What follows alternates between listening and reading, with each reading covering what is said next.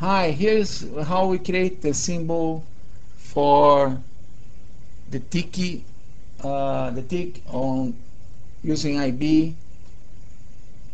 Then what you can do is just press F5 key on your keyboard, and then my default exchange here is Forex. I'm going to then use New York Stock Exchange. Then for do that to do New York Stock Exchange, then the tilde then the symbol on IB is TICK dash NYSE then the caret then IND for index then the exchange NYSE and you click OK